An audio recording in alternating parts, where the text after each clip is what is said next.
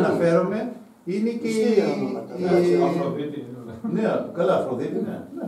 Αυτά τα γυναικεία τέλος πάντων. Αφροδίτη, δεν υπάρχει. Υπάρχουν, υπάρχουν. Εγώ θα αναφέρω και ένα εκτός ονομάτων, βέβαια που έχει και αυτό βέβαια με τους Αγίους, είναι και τα γενέθλια που λένε. Ενώ ο χριστιανός γιορτάζει τη- τον Αγιό του. Τι γιορτή δεν Ναι, είναι. όχι τα σύμφωνοι, γενέθλιά σύμφωνοι, μας. σύμφωνοι. Ε, Γιατί ε, προχθές που λέγανε- απαγορεύονται κανονικά στα Ε; γενέθλια. Κανονικά απαγορεύονται να κάνουν γενέθλια. Ναι, τι γενέθλια, αυτά τα κάνει, είναι δύσια. Μόνο το, Είναι- είναι- του είναι- Χριστού της Παναγίας. Ακριβώς, έχουν έτσι. τον Άγιό μας, ξέρω εγώ. Έτσι. Γιατί ρωτάνε, λέτε γενέθλια, λέει, προ- προχθές. ε. Και αυτά είναι πα- παγκοσμίοι, τώρα είπαμε έτσι. Μα λέω γενέθλια, τι τα κάνεις αυτό. Τον Αγιό σου, το, το όνομά σου. Κοίτα και Χριστός. Λοιπόν, άντε, δεν πειράζει, ας, ας έρθουνε. Στο όνομα του Πατρός και του Υιού και του Αγίου Πνεύματος. Αμήν. Βασιλεύ του ουράνιου, παράγεται το πνεύμα της Αγίας, το παντού παρόν και τα πάντα πληρών, θησαυρός των αγαθών και ζωής χορηγός, ενθέ και σκύλος σου νημή, και χάρισον εμάς από πάσης κυλίος και σώσον αδέτες χάρης μόνο. Αμήν. Να καθίσουμε.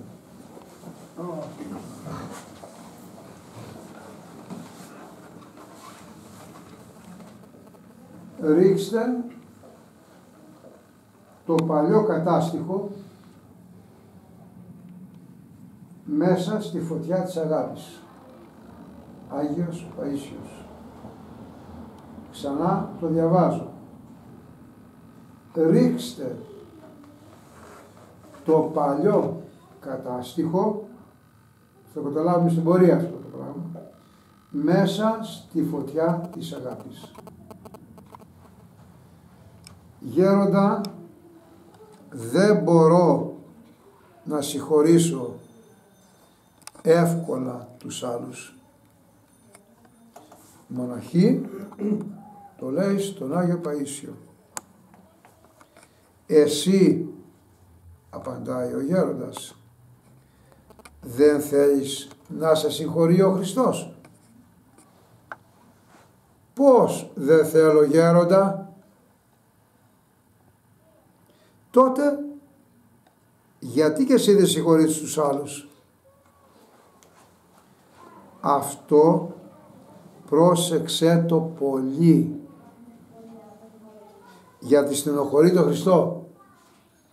Ποιο δηλαδή, ποιο είναι Νίκο, Να μην συγχωρείς τον άλλο. ε, να μην συγχωρούμε τον, τους άλλους. Είναι σαν να σου χάρισε 10.000 τάλαντα και εσύ να μην θέλεις να χάρεις τον άλλον 100 δινάρια. Να λες με το λογισμό σου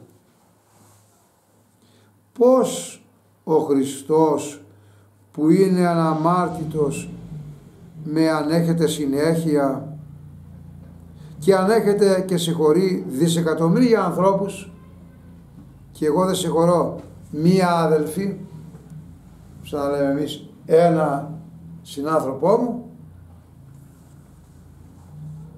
Μια μέρα ήρθε στο καλύβι μου ένα παιδί που ήξερα ότι είχε παρεξηγηθεί με κάποιον και ενώ εκείνος ο κάποιος του ζητούσε να το συγχωρέσει αυτός δεν το συγχωρούσε. Κάποια στιγμή μου λέει κάνε προσευχή γέροντα να με συγχωρέσει ο Θεός. Θα κάνω προσευχή του λέω να μη σε συγχωρέσει ο Θεός. Αλλά εκείνο το παιδί πάλι μου είπε θέλω γέροντα να με συγχωρέσει ο Θεός. Αν δεν συγχωρέσει ευλογημένε εσύ τους άλλους του είπα τότε πώς θα σε συγχωρέσει εσένα ο Θεός; Η δικαιοσύνη του Θεού εδώ το, που το διάβαζα και σήμερα το έχω διαβάσει πολλές φορές μου πέρασε καινούριο νόημα από μέσα μου. Λέει η δικαιοσύνη του Θεού είναι αγάπη. Η δικαιοσύνη του Θεού προσέξτε το είναι αγάπη. Ταυτίζεται η δικαιοσύνη με την αγάπη είναι η μακροθυμία. Δικαιοσύνη του Θεού. Δεν έχει καμία σχέση με την ανθρώπινη δικαιοσύνη. Αυτή τη δικαιοσύνη του Θεού πρέπει να αποκτήσουμε. Λίγο να το σταματήσω. Η δικαιοσύνη, τι σημαίνει; Σου ζητάει συγγνώμη. Δώσ' τη συγγνώμη να σου δώσει συγγνώμη ο Θεός. Αυτό είναι δικαιοσύνη. Την αγάπη που θα δείξεις εσύ είναι η δικαιοσύνη που θα σου δώσει ο Θεός Τελείωσε. Και συνεχίζει. Μια νύχτα πήγε στο κελί του Παπατήχωνα ένας κοσμικός να τον ληστέψει. Αφού βασάνισε αρκετά το γέροντα, τους σφίγγε το λαιμό με ένα σκηνή. Είδε ότι δεν έχει χρήματα και ξεκίνησε να φύγει. Την ώρα που έφευγε ο Παπατήχων του είπε «Θεός χωρέσει παιδί μου». Του έδωσε; «Συγγνώμη, ο Θεός να σε συγχωρέσει». Ο κακοποιός αυτός πήγε να ληστέψει κι άλλο γέροντα. Αλλά εκεί τον έπιασε η αστυνομία και ομολόγησε μόνος του ότι είχε πάει και στον Παπατήχωνα. Ο αστυνόμος έστειλε χωροφύλακα να πάρει τον Παπατήχωνα για ανάκριση. Αλλά ο γέροντας δεν ήθελε να πάει. Εγώ παιδί μου έλεγε συγχώρεσα τον κλέφτη μόλι μου την καρδιά ο χωροφύλακας όμως δεν έδινε καθόλου σημασία στα λόγια του. Άντε γρήγορα γέροντα του λέγε, εδώ δεν έχεις συγχώρησον και ευλόγησον. Του έλεγε του Αγίου Τύχωνα, τώρα είναι Άγιος. Τελικά επειδή ο γέροντας έκλαιγε σαν μωρό παιδί, το λυπήθηκε ο διοικητής και τον άφησε να γυρίσει στο κελί του. Όταν μετά θυμόταν ο γέροντας αυτό το περιστατικό, Παπατήχωνας, γράφει ο Άγιος Παΐσιος, δεν μπορούσε να το χωρέσει στο μυαλό του. Πα, πα, πα, παιδί μου έλεγε, αυτοί οι κοσμικοί άλλο τυπικό έχουν. Δεν έχουν το ευλόγησον και ο Θεός χωρέσει. Καλώς τον του κάνει εντύπωση. Δεν έχουν ούτε ευλόγησον, ούτε Θεός χωρέστε. Γέροντα, να σταματήσουμε λίγο εδώ. Θέλω να ακούσω και εσάς. Λίγο είναι αυτό, θα πείτε δύο λογάκια και εσείς να, να, να ε, πάρουμε και από, και από εμάς κάποια δύναμη. Εδώ το, το θέμα είναι ότι αφίεμε ημίτα τις οφειλέτες ημών.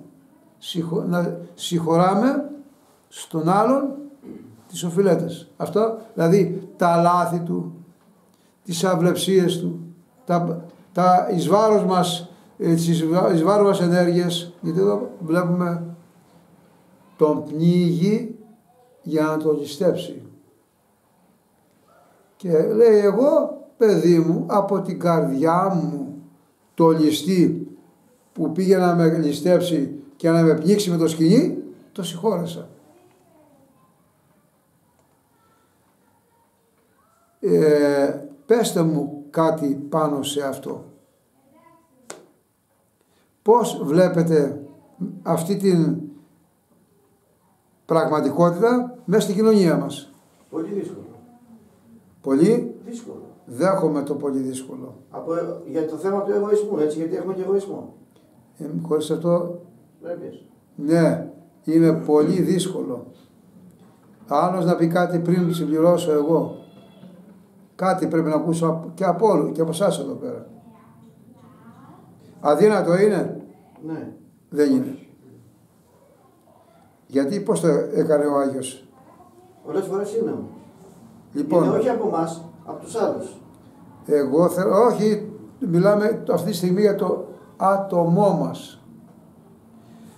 Κανένας μας, ούτε και ο Άγιος Τύχωνας, εάν δεν είχε τον ασύρματό του να παίρνει μηνύματα από πάνω, την προσευχή δηλαδή, δεν θα έχει τη δύναμη να το κάνει. Γιατί χωρίς το Θεό τέτοιο μεγάλο ε, άλμα, να το πω έτσι, δεν μπορεί να το κάνει κανείς. Κανένας. Έχουμε Παναγιώτη από τη γραφή άλλα παραδείγματα τέτοια. Θυμάσαι, νομίζω Μάθα πρέπει. μυαλό μου τώρα. Συγγνώμη. Ξεκινάμε από τον Κύριο. Συγγνώμη, το τι τι. Ξεκινάμε από τον Κύριο που λέει συγχώρεσε τους σταυρωτές. Πάμε στον Άγιο Απόστολο Στέφανο, Συγχώρεσε τους συγχώρεσε τους λιθοβολητές. Αυτούς που πήγαν να σκοτώσουν. Και λέει γονατίζει και με προσευχή ζητάει τη συγγνώμη. Πάμε στο Μωυσή τον προφήτη που του έψαν 40 χρόνια το ψάρι στα χίλια οι Εβραίοι και προσεύχεται και λέει Κύριε ή τα αδέρφια μου βάζεις μέσα ή εμένα να βγάλε με τον παράδεισο. Ξεγράφει τον εαυτό του. Κοιτάξτε. Αυτά τα αναφέρει η Αγία Γραφή για να βλέπουμε και να λέμε πού βρίσκομαι; Συνάνθρωποι σαν και εμάς ήταν και αυτοί. Δεν ήταν κάτι διαφορετικό. Η διαφορά είναι στο ότι αυτοί παραδίδονταν στα χέρια του Θεού. 100% από εμάς τη δική μας σχέση με τον Θεό. Από τη δική μου θα πω είναι κρυόβραστη. Όχι νερόβραστη, κρυόβραστη. Ευτυχώς που έχουμε τους Αγίους και μας λέει ο Ρωσός μας να τους μιμούμεθα έστω στο ελάχιστο. Ε, νο- έχω την εντύπωση καπαλού λέει ο Αγιος Παΐσιος ότι σου λέει μια κουβέντα ο άλλος τουλάχιστον μην του απαντάς τη, τη κουβέντα που σε ερεθίζει εννοείται και σου ανάβει τα αίματα όπως λέει ο λαός. Τουλάχιστον μην του απαντάς. Κοιτάξτε είναι αναγκαία η επαφή αναγκαιοτάτη η επαφή μας με τον Κύριο. Όχι όπως λέει ο Δαβίδ Κύριε τρεις φορές την ημέρα βέβαια είχε όλη την ημέρα ο Δαβίδ σε γονάτισα και, σε, και σου μιλούσα είναι ανάγκη αν δεν έχουμε επικοινωνία με τον Κύριο όχι να συγχωρέσουμε εχθρό αλλά βρισκόμαστε στο κατήφορο να κάνουμε κακό. Αυτή είναι η τοποθέτηση. Ε, πα, πα, πα, παιδί μου, έλεγε, αυτοί οι κοσμικοί άλλο τυπικό έχουν. Άλλο τυπικό έχουν. Δεν γνωρίζουν το ευλόγησον, τη συγνώμη δηλαδή. Αυτό το ευλόγησον. Και το Θεός χωρέστη τον άλλον που σου, κάτι σου έκανε. Ο Άγιος Παΐσιος γράφει, εδώ μέσα το γράφει, αλλά σε, όλο, σε άλλη σελίδα, ότι από τη στιγμή που σε αδίκησε ο άλλος και εσύ πήρες επάνω σου αυτό που έκανε ο άλλος και φταίει ο άλλος το δικό του λάθος το πήρες εσύ επάνω σου αυτομάτως ομπρέλα Αγίου Πνεύματος σε κάλυψε και σε χαϊδεύει δεν είναι όπως λέει η λογική μας αλλά όπως λέει η λογική των Αγίων και του Θεού ότι μας αγκαλιάζει του Θεού η χάρη και μας προχωράει αυτή. Γιατί αλλιώς δεν θα μπορούσαμε ούτε ένα βήμα να κάνουμε χωρίς τη χάρη του Θεού. Γέροντα, ρωτάει τώρα, τι είναι μνήση κακία, μνήση κακία. Έχουμε κα- κάποια άγνοια γύρω από αυτά τα πράγματα. Τι είναι μνήση κακία, να θυμάσαι το κακό που σου έκαναν. Σου έκανα ένα κακό εγώ και να λες μου έκανε αυτό και να κρατάς και υπόλοιπο. Και να κρατάς και υπόλοιπο έστω για ένα λόγο που, που είπα εις βάρος σου. Ή να αισθάνεσαι κακία για εκείνον που σου το έκανε το κακό. Λέει πρώτον η κακία είναι να θυμάσαι το κακό που σου έκανε. Και αυτό είναι μικρό παράπτωμα σε σχέση με το άλλο που λέει παρακάτω. Ότι να αισθάνεσαι κακία για εκείνον που σου έκανε το κακό. Άλλο θυμάμαι το κακό, άλλο αισθάνομαι κακία που σημαίνει κάποια στιγμή άμα, άμα ε, δοθεί ευκαιρία θα σου το αποδώσω. Αυτό σημαίνει η σιγακία. Θυμάμαι το κακό που μου έκανε ο άλλος. Το πρώτο σκαλοπάτι. Το δεύτερο, να είμαι έτοιμος να το αποδώσω το κακό που μου έκανε ο άλλος. Αυτό λέγεται μνήση κακία. Αν θυμάσαι το κακό και λυπάσαι όταν αυτός που σου το έκανε πάει καλά, μου έκανες κακό. Και εσύ προδεύεις τη ζωή σου που μου έκανες το κακό. Και εγώ λυπάμαι γιατί πας καλά εσύ. Αυτό είναι μισικακία. Το καταλαβαίνετε αυτό το πράγμα. Βλέπω τον συνάνθρωπό μου που κάτι μου έκανε, θυμάμαι το κακό, βλέπω που προδεύει και λυπάμαι. Γιατί προδεύει. Γιατί να προδεύει αυτός; Μνησικακία. Μνησικακία είναι αμάρτημα.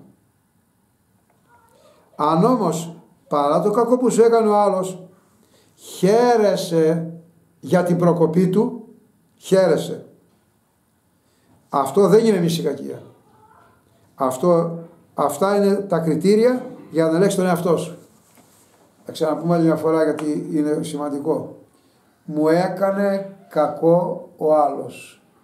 Και εγώ δεν ξεχνάω το κακό που μου έκανε. Δεν το ξεχνάω. Το φέρνω στη μνήμη μου το κακό που μου έκανε και με έβλαψε. Το φέρνω στη μνήμη μου το κακό. Μνήση κακό. Δεν σταματάω εδώ. Είμαι έτοιμος να του κάνω το κακό που μου έκανε.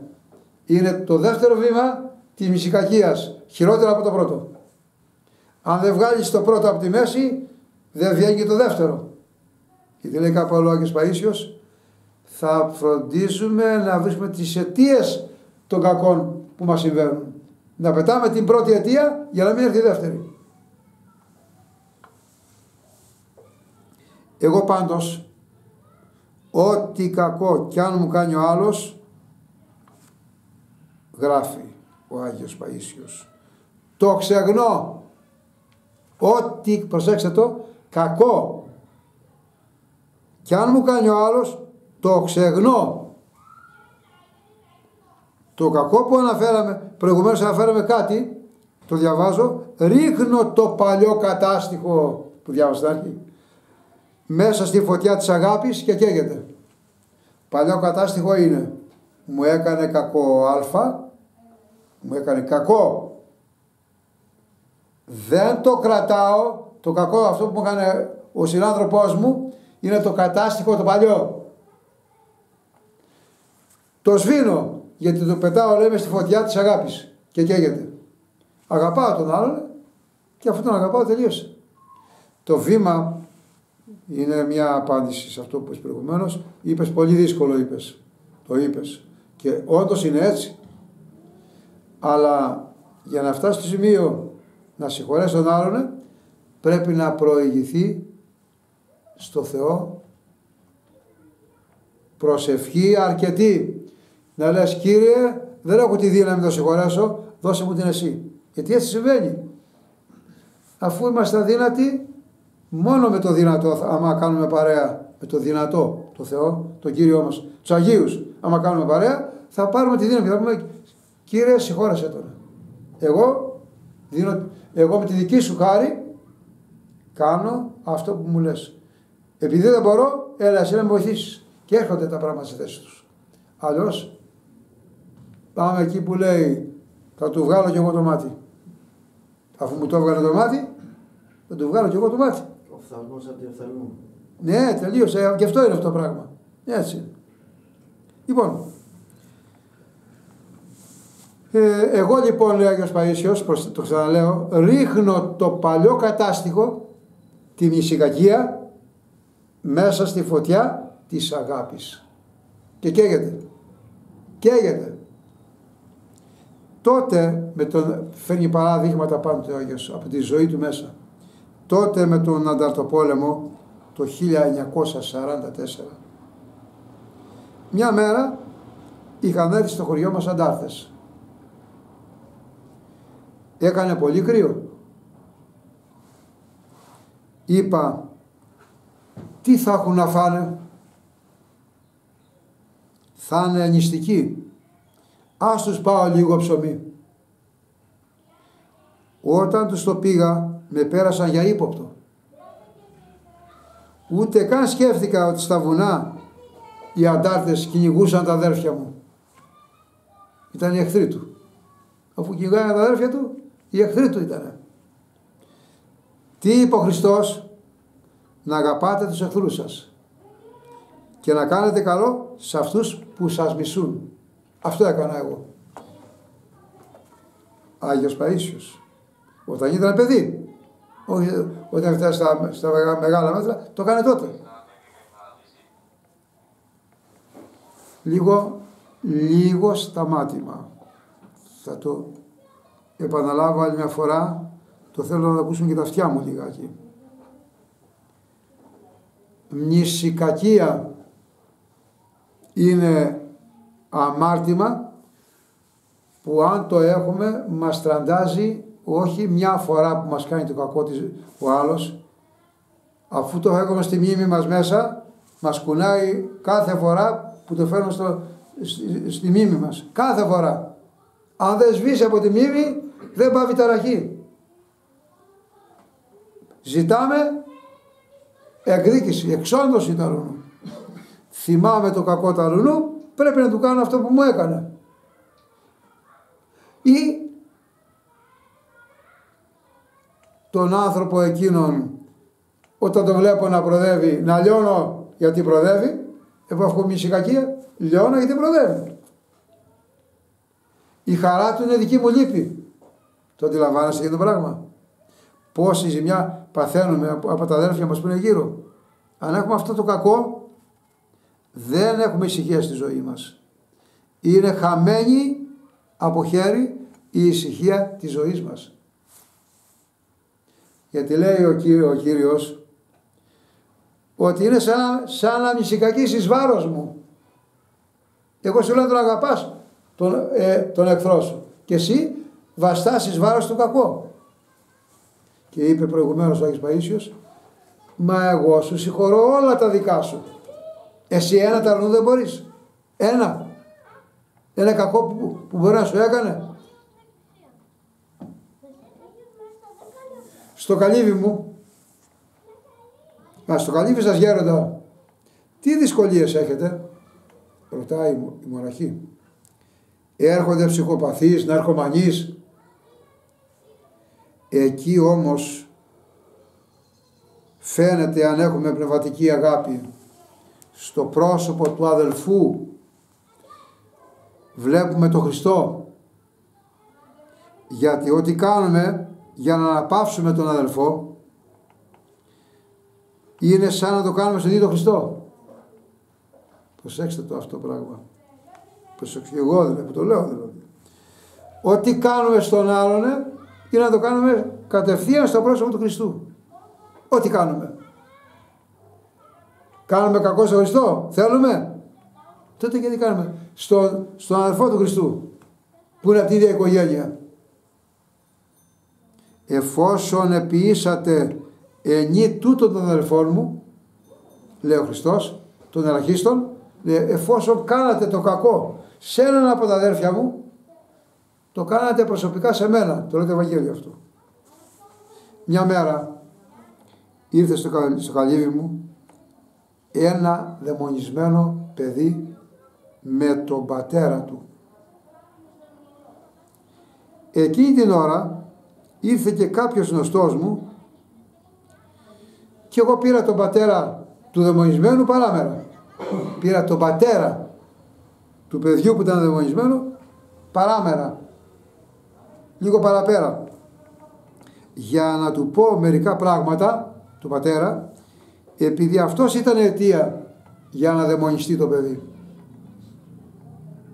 Το καημένο ήταν χάλια. Γκουτζάν παλικάρι. Έτρεχαν οι μίξες του.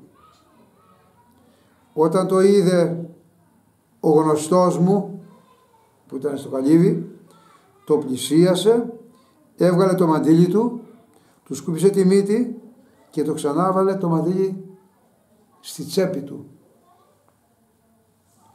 Έβγαλε ύστερα το σταυρό του, ξένος προς το παιδί. Είπε το πατέρα του παιδί το πήρα παράμερα.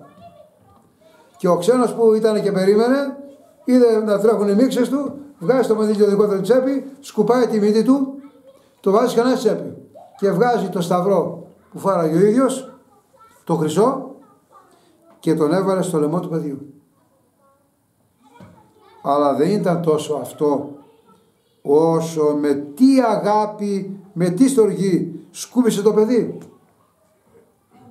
Να βλέπατε σε τι χάλια ήταν. Μου έκανε εντύπωση.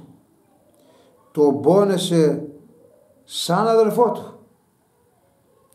Αν αγαπείς τον άλλο σαν αδερφό, με το μαδίλιο δικό σου, συγγνώμη, αν αγαπείς τον άλλον σαν αδερφό, με το μαντίλι το δικό σου σκουπίζεις και τη μύτη του και το ξαναβάζεις στη τσέπη σου. Αλλά αν δεν το νιώθεις σαν, σαν αδερφό των άλλων, ε, είναι σαν ένα ξένο σώμα ο άλλος. Γι' αυτό λίγο να σε αγγίξει, αμέσως τεινάζεσαι. Αν δεν τον αισθάνεσαι τον άλλον δικό σου, δεν βγάζεις το μαντίλι σου να του σκουπίσεις, δεν βάζεις τσέπη του, δεν του βάζεις το σταυρό σου. Αλλιώς λέει, αν δεν νιώθεις, λέει, τεινάζεις να μας επλησιάσει λίγο. Γιατί συγχαίνεσαι. Λίγος άλλο να σε πέσει πάνω, θα πας να πληθείς αμέσως. Αφού σε εμάς ο καλός Θεός έδωσε άφθονες δωρεές και δεν επέτρεψε να ταλαιπωρηθούμε, πρέπει να πονέσουμε για τον πλησίο μας.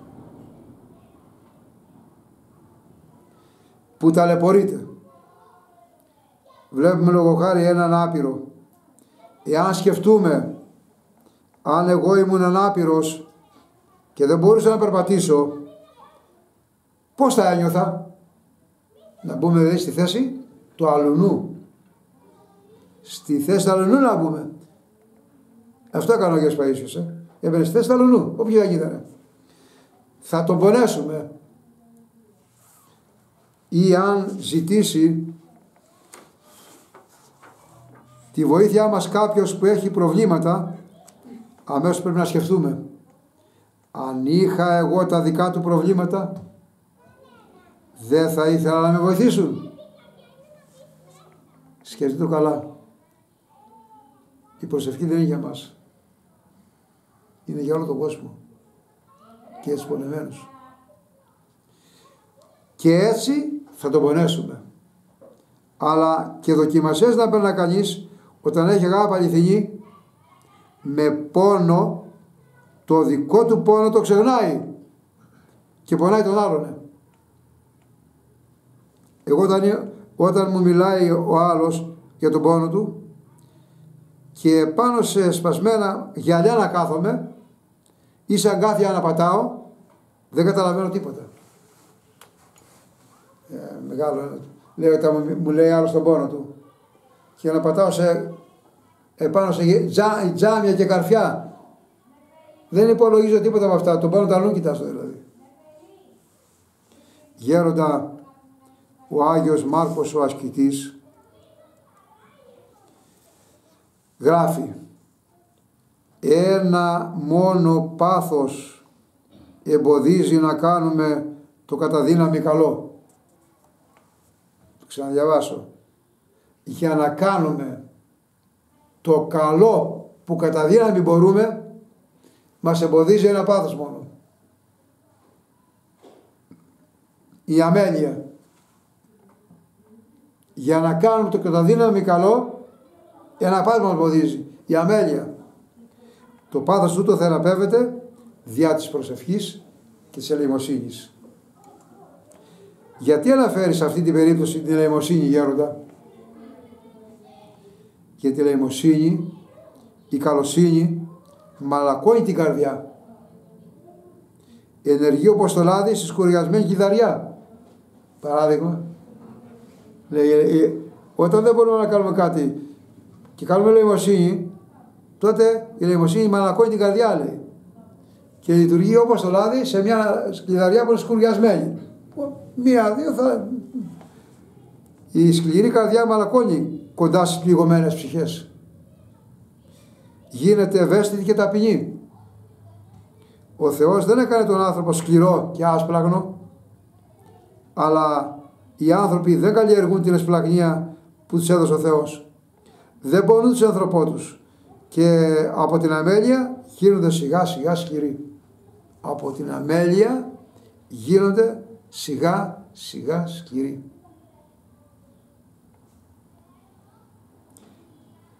Γέροντα, τι βοηθάει να μαλακώσει η καρδιά μας, ώστε στον πόνο που κυκλοφορεί γύρω μας να βλέπουμε με, με ήκτο και με συμπόνια και με αγάπη, για να μαλακώσει η καρδιά μας, πρέπει να έρθουμε στη θέση όχι μόνο των άλλων συνανθρώπων μας για να μαλακώσει η καρδιά μας.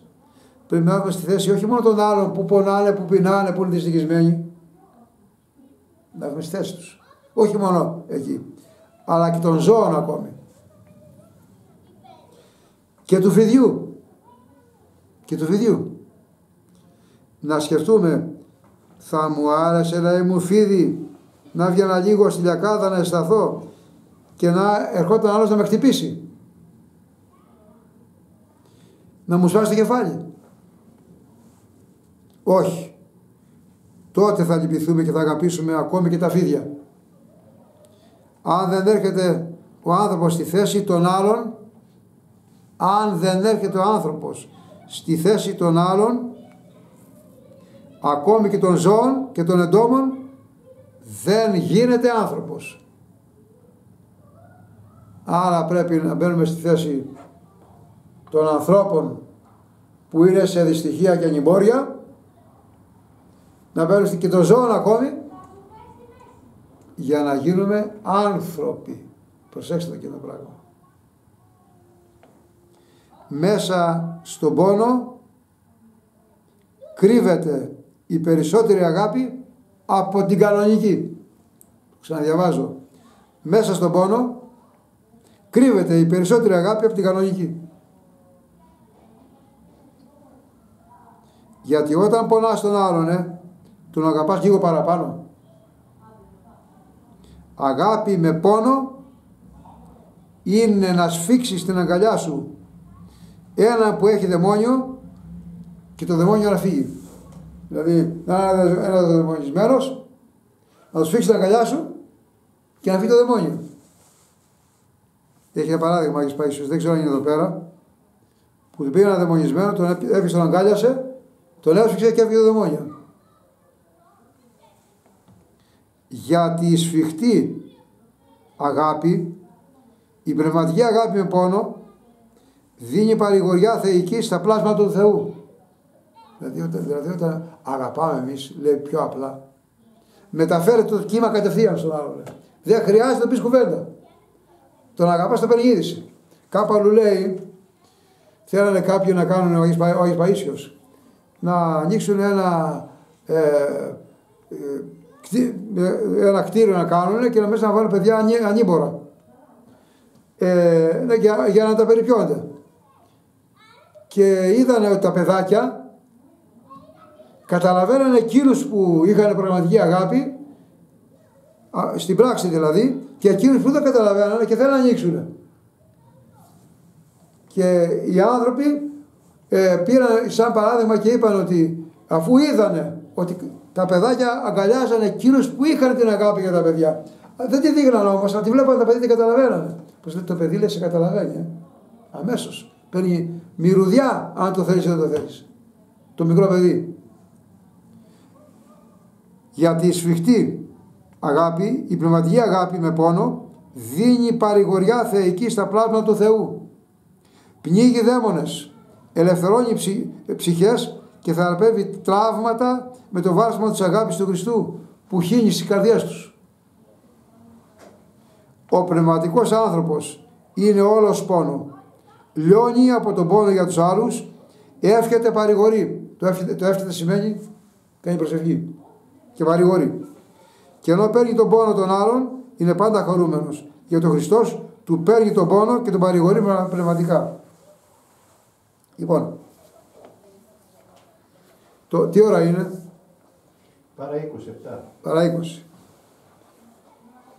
Ε, δεν θα διαβάσω άλλο κομμάτι, αλλά θα σχολιάσουμε πάλι αυτά που, για, να, για να μπορούμε να μας μείνει στο μυαλό. Το πρώτο απ' όλα είναι μου έφτεξε ο συνάνθρωπός μου και εγώ δεν του έσβησα το χρέος. Το βαστάω το κακό στη μνήμη μου. Μνήση κακό. Μνήση κακό. Ε, το άλλο είναι να μην σταθώ κρατώντας το κακό που μου έκανε στη μνήμη μου αλλά να ψάχνω να βρω την ευκαιρία να τα αποδώσω το κακό που μου έκανε. Είναι προχωρημένο βήμα κακίας. Προχωρημένο βήμα κακίας. Η μία περίπτωση είναι χειρότερη από την άλλη. είναι. Αν το κακό μένει μόνο στη μνήμη και δεν εκδηλωθεί, τότε κάνει κακός σε αυτό που το κρατάει μέσα του. Τον συφοριάζει εσωτερικά. Κάθε φορά που θα βλέπει τον άλλον δίπλα του, θα τεινάζεται. Από το κακό που θα αισθάνεται μέσα του. Θα εκτινάσετε. Σαν το καζάνι που βράζει να πετάξει το, το καπάκι πάνω. Δεν ωφελεί. Ζημιά κάνει. Ε, η- όσο για τη δεύτερη περίπτωση δεν χρειάζεται να κάνουμε λόγο γιατί είναι πράξη στην οποία θα προβεί αυτός που βαστάει το κακό που του έκανε ο άλλος. Και η πράξη είναι επιλήψιμη. Είναι όχι μόνο ε, επιλήψιμη από τον Κύριο γιατί λέει είναι αδερφός μου ο άλλος και βλάπτεις τον άλλον.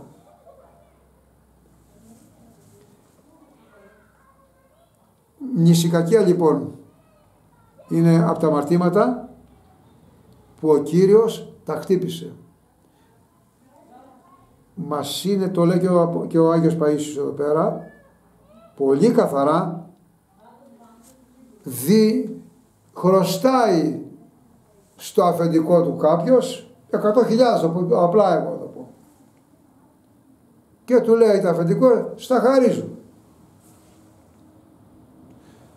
Και κάποιος άλλος χρωστάει σε αυτόν που χάρισε το αφεντικό τα λεφτά 100 δραγμές και τον πνίγει για να του δώσει τα, τα χρήματα. Δώσε μου τα, τα, τα χρειάζομαι. Ε, αυτή η δεύτερη περίπτωση είναι η περίπτωση της μυσικακίας που κρατάω και δεν δεν δίνω συγγνώμη τα λουνού. Ζητάω να μου συγχωρέσω ο Θεός τα δικά μου άπειρα και όχι τα αδερφού μου που είναι πιο λίγα και ο Θεός μου λέει να συγχωρέσω και τα δικά σου έτσι.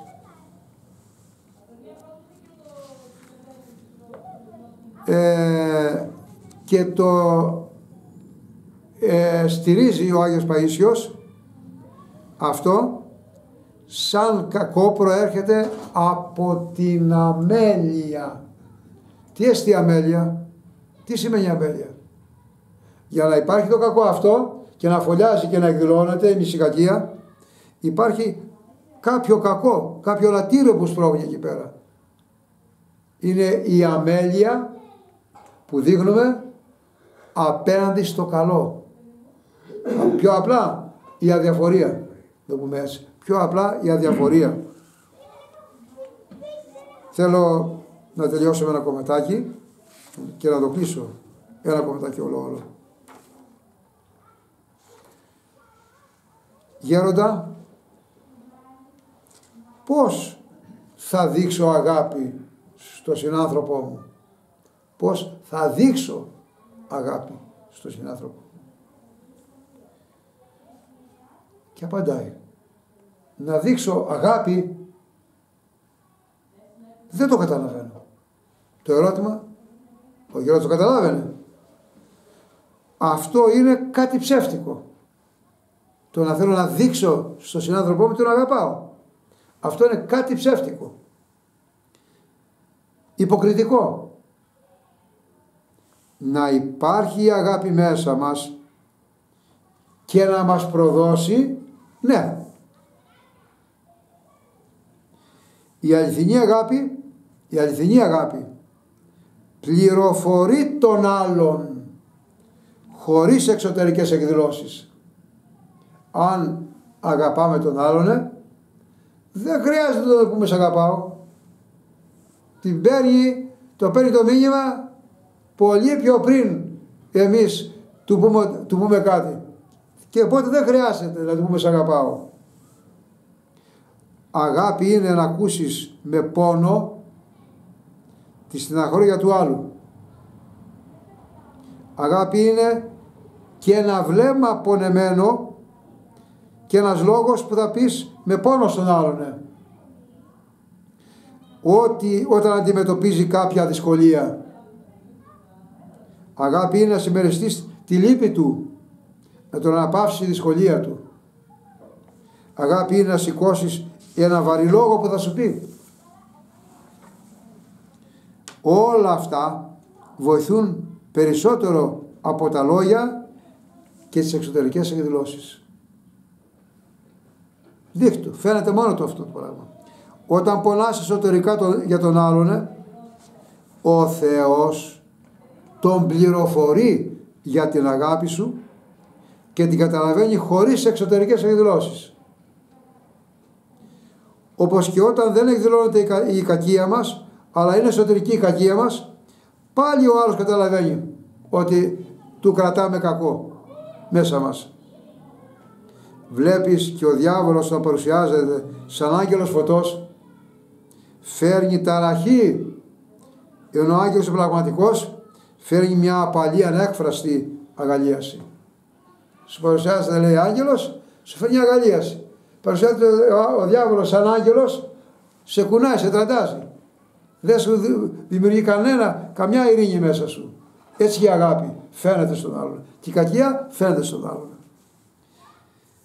Τι είναι γέροντα αυτό που με εμποδίζει να πληροφορούμε, να πληροφορούμε την αγάπη των άλλων; Μήπως δεν έχει καλλιεργήσει την αγάπη; Όποιος αγαπάει πληροφορείται και την αγάπη του άλλου. Αλλά και πληροφορεί τον άλλο για την αγάπη του. Χωρίς να το εκδηλώνει. Αγαπάς, το καταλαβαίνει ο άλλος. Και καταλαβαίνεις αντίθεση στο ρουβάκι του άλλου την αγάπη που έχει, χωρίς να στη, να στη δείξει. Καταλαβαίνει ο άλλος αν υποκρίνεσαι ή αν τον αγαπάς πραγματικά. Γιατί πάει σαν τηλεγράφημα η αγάπη. Τα ακούτε, πάει σαν τηλεγράφημα. Αν κάνουμε λόγω χάρη μια επίσκεψη σε ένα ορφανοτροφείο, τα παιδιά αμέσως θα καταλάβουν με τι διάθεση πήγαμε. Προσέξτε αυτό που προηγουμένως έλεγα, το λέω τώρα εδώ πέρα. Λέει, μια επίσκεψη σε ένα ορφανοτροφείο με παιδιά. Θα καταλάβουν ποιοι είναι αυτοί που τα αγαπάνε τα παιδιά και ποιοι δεν αγαπάνε τους επισκέπτες. είχαν έρθει μια φορά στο Καλύβι για να ζητήσουν τη γνώμη μου κάποιοι που ήθελαν να κάνουν ένα ίδρυμα για καταλημμένα παιδιά. Το κυριότερο από όλα τους είπα είναι να πονέσετε τα παιδιά αυτά. Σαν παιδιά σας. Και ακόμη περισσότερο. Αυτό είναι που θα πληροφορήσει τα παιδιά για την αγάπη σας. Αν δεν τα πονάτε, μην ξεκινάτε να κάνετε τίποτα. Τότε ένας γιατρός, πολύ ευλαβής, είπε «Έχεις δίκιο κάπο, ε, πάτερ, έχεις δίκιο πάτερ». Κάποτε μια συντροφιά είχαμε επισκεφθεί για πρώτη φορά ένα ορφανοτροφείο και τα παιδιά κατάλαβαν τη διάθεση του καθενός μας. Ο Κύριος τάδε είπαν τα παιδιά είναι περαστικός. Ε, τα παιδιά βλέπανε περαστικός. Ο Κύριος τάδε ήρθε να περάσει την ώρα του μαζί μας. Ο Κύριος τάδε μας αγαπάει. Πραγματικά. Βλέπετε. Για, για εκείνο είπατε περαστικός, ο άλλος ήρθε να περάσει την ώρα του και ο, ο άλλος λέει μας, αυτός μας αγαπάει. Είπαν τα παιδιά.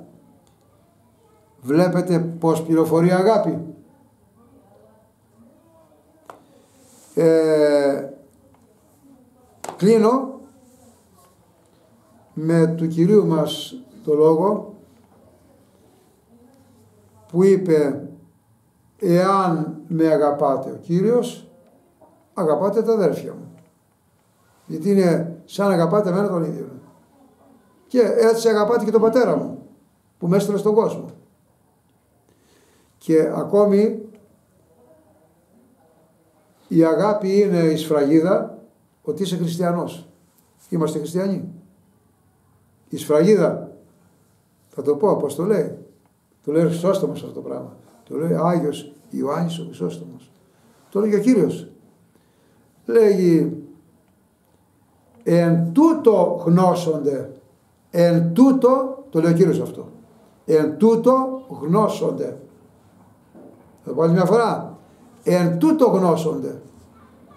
Από αυτό θα καταλάβουν οι άνθρωποι ότι είσαστε, λέει ο Κύριος, ε, μαθητέ μου, εάν αγάπη έχετε να λύεις, εάν έχετε αγάπη μεταξύ σας. Δηλαδή γνώρισμα καθαρό ότι είσαι Απόστολός μου, λέει ο Κύριος, ότι είσαι χριστιανός, είναι η αγάπη που έχεις προς τον άλλον. Δεν έχεις, δεν είσαι μαθητής μου. Καθαρά, πολύ καθαρά πράγματα. Αλλά, και λέει ο Ιωσόστομος λέει κάτι πολύ σημαντικό. Αν έστεναν νεκρούς, έγιναν τα ποδάρια των παραλίτων και περπατάγανε, ε, κάνανε ασθενείς καλά, όλα τα, ό, ό, όλα τα θαύματα που, που, που, που έκαναν στον κόσμο οι Απόστολοι ήταν τη δύναμη του Κυρίου. Από αυτά λέει δεν είστε μαθητές μου. Από την αγάπη που μπορεί να έχετε στον άλλον, από αυτά είστε μαθητές μου. Επειδή η αγάπη, λέει ο Απόστολος Παύλος, νινί, νινί σημαίνει τώρα δα, υπάρχει η πίστη, την έχουμε. Το πόσο μέγεθος είναι το ξέρει ο Κύριος. Η ελπίδα την έχουμε και αυτή. Γιατί ελπίζουμε. Χωρίς ελπίδα δεν υπάρχει και ο άθεος ακόμα ζει με ελπίδα. Οι πάντες με ελπίδα ζουν. Και στην πρακτική της ζωής η ελπίδα είναι το πρώτο από όλα. Ταξιδεύει άλλος ελπίζει να φτάσει στον προορισμό του. Με αεροπλάνο πηγαίνει, με πλοίο πηγαίνει, με αυτοκίνητο πηγαίνει, θα πάω στον προορισμό μου. Η ελπίδα είναι στη μέση. Αλλιώς δεν θα πήγαινε, άμα ε, ήξερε ότι δεν θα, δεν θα φτάσει ποτέ.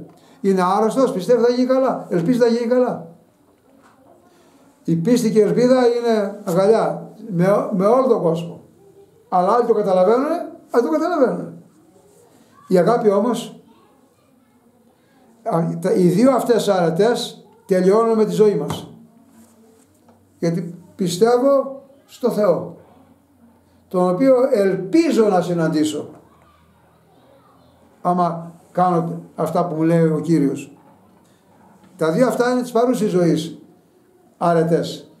Το τελευταίο είναι και της παρούσης και της μελούσης. Γιατί η αγάπη, λέει ο Απόστολος Παύλος, δεν ξεθοριάζει ποτέ. Είναι αγάπη ο ίδιος ο Θεός. Και σε περιμένει με την αγάπη του να σου δώσει το πλήρωμα της αγάπης του εκεί πάνω και λέει ε, από αγάπη σε αγάπη θα πορεύεται ο άνθρωπος στην άλλη ζωή μέσα στην αγκαλιά του Θεού. Άρα χωρίς αγάπη δεν φτάνουμε εκεί πάνω. Είναι απαραίτητο. Και χωρίς η αγάπη, η αγάπη βιώνεται βεβαίως με έργα. Και ένα από τα έργα είναι η νοημοσύνη όπως προηγουμένως, αλλά και με την προσευχή. Γιατί τα ποδάρια μας είναι αδύναμα να περπατήσουν. Χρειάζεται το Κύριος να μας είναι δίπλα μας. Αλλιώς δεν προχωράμε καθόλου. Καθόλου. Εύχομαι ο Κύριος να μας φωτίζει και να μας ελεεί, να μας δίνει, να καταλαβαίνουμε ότι δεν πρέπει να σκεφτόμαστε καν το κακό που μας κάνει ο άλλος και αν το σκεφτόμαστε χρειάζεται γόνατα να μην λέμε και μεγάλα, μεγάλα λόγια. Πειραζόμαστε που μας ενοχλεί ο άλλος. Πειραζόμαστε. Αλλά δεν θα δούμε εκεί πέρα. Θα παράξουμε μία, δύο, τρεις, τέσσερις, πέντε και φεύγει μετά. Φεύγει μετά. Και τέλος η αγάπη ποτέ ουδέποτε λέει ο Απόστολος Παύλος εκπίπτει. Αγαπήσουμε αλλήλους είναι αναμονία ομολογήσουμε Πατέρα Υιό και Άγιο Πνεύμα. Αμήν. Έχουμε τι ώρα είναι Βασιλάκη. Ακριβώς 7. Αν, να πούμε, αν θέλετε να πείτε κάτι, καλώ. Αν δεν θέλετε, σας ευχαριστούμε πάρα πολύ. Ε, φτάνουν οι 10 άτομα. Είμαστε 12 δεν είμαστε του Κυρίου. Έτσι. Να κάνουμε προσευχή μας. Ευχαριστώ πάρα πολύ. Δεν θέλετε να αλλάξουμε την ώρα; Όχι από το. Ε, να πάμε, την πάμε 6.30. Πέστε πώς το βλέπετε; Και εμένα με βολεύει, αλλά ότι που είναι. Λέει, ρωτάω, όλους ρωτάω εδώ πέρα. Για βάλω 6.30. να- Και αυτοί που δεν δεν το ξέρουν όμως. Ότι που είναι πολύ. Ναι. Γιατί, ε, μεγαλώνει η μέρα σιγά σιγά. Έτσι. Να την βάλω 6.30. Ωραία. 6.30. Έχετε αντίρρηση, πέστε να μην πείτε ότι πλεονάζουμε. Ε, ωραία, 6.30 ώρα. Άγιος ο Θεός. Άγιος ο Θεός. Τελέσου. Άγιος ο Θεός. Άγιος ο Θεός. Άγιος ο Θεός. Άγιος ο Θεός. Πάτερ ημών, ο Ελής ο Ελής, αγιαστείτε το όνομά σου, θέτε η βασιλεία σου, γεννηθείτε το θέλημά σου, ως εν ουρανό και επί της γης, των άρτων ημών των επιούσεων, δώσει ημίν σήμερα, και άφεση ημίν τα οφειλήματα ημών, ως και ημείς αφίευαν στους οφειλέτες ημών, και μη συνέγεις ημάς πειρασμών, αλλά λύσε ημάς από τον πολίτο. Διευχών των Κύριε Ιησούς Χριστέ ο Θεός, ελέγχει Χριστός ημάς. Αμήν. Καλή δάμο Ποτέ δεν έχουμε Πάσχα, παιδιά.